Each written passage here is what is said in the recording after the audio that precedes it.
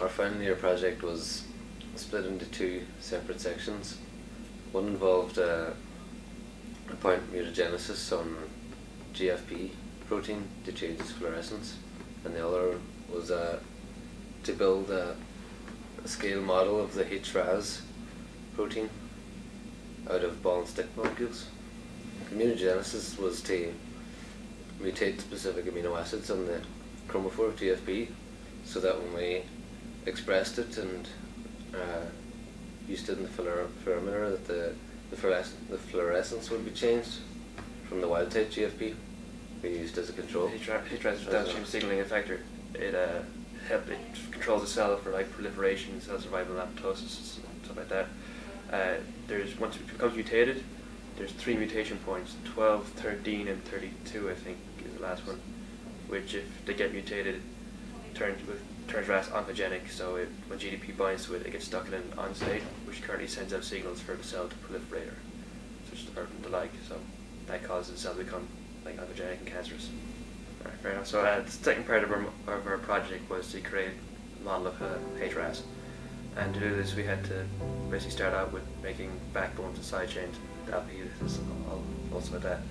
So for making the model, we had to figure out all the different amino acids that were in it, order all the pieces, and then we set to work. The backbone we, of the chain, it was uh, one triangle carbon, one alpha carbon, and one oxygen. There was uh, five alpha helices. Yeah. So we built them all. We built all the alpha helices, and then we started putting side chains on. We had the entire like protein itself split up into sections. For loops and turns, we had to use a PyMOL, uh, which is a PDB viewer, which is look at the orientation of all the loops and turns, where the double bonds, uh, where the hydrogen bonds went on, and amino acid itself. Uh, building the beta sheets was basically we just kind of took it as two backbones together, worked worked them out, got them parallel or anti-parallel, which is just the orientation of how the hydrogen bonds went across. And then we just, I said we had everything numbered. We had it all sectioned out, like our alpha helixes and our beta sheets and our loops. So we had the whole thing built, you know, in sections, we labelled them as well. So once we got to put it together, we just started at the beginning. It started with one of the beta sheets, so we put that up and then connected that to this, the second one. And once we got it all aligned perfect and with the, the temporary stand, we made a box out of wood and drilled holes where the poles should have went and transferred the model from the temporary stand over to the permanent stand. And Um, what do you think the finished model? It's great, yeah. We're great for like a teaching tool, I always think, because it's really physical. Like it shows just how the, the molecule works. Like. And it was good for a presentation as well because we could we made a wee mock a wee molecule of GTP as well to bind it, and uh, so we could actually put the wee GTP molecule in to show the switch regions in RAS as well. This like to show exactly which amino acid gets mutated when when it gets switched on or switched off.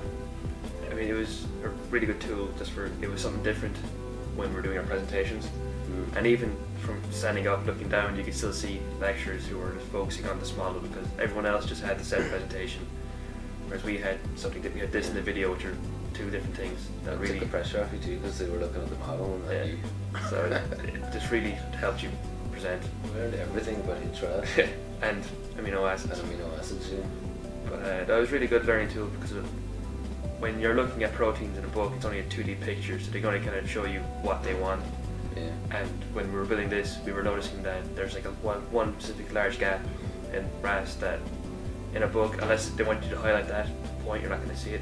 But when you have a 3D model, we can uh, understand protein structure far better. Adds another dimension to learning. Yeah. Mm. If we would have had done this like a year ago, even if we were doing like proteins in college, then they just seem far more easier once you're doing the modeling because we just like they picture an amino acid without actually seeing it. You don't know what it is, sort of. You know, it's just a chemical. Like, but then once we've made them, like you can physically know what they look like. You know, so it's really good for like seeing what you're learning. You know, grasping sort of the the physical nature of biochemistry rather than just reading it. As to the other fourth year projects, it seemed a lot more interactive or something. You know, like they're, the other people in our class just seemed to be in labs all the time. It seemed really monotonous what they were doing. I know it was it was really interesting what they were doing in the end up, but like some days it just seemed really boring, really. Well, I mean, it, it was something different. When you're we had like an hour or two hour incubation period in the lab. It was something else to kind of instead of waiting around or going for coffee or whatever like that, you could just easily go down, build this, help helps the understanding. I mean, in working with the wet lab, it was perfect. I thought it was really really good. Helped Balance me itself out good. as a, as a teaching tool, it was perfect. I mean, you understand protein structure far better, and this part of it, it was a break. It was good crack too to build it. It wasn't like going to school, do schoolwork, you know.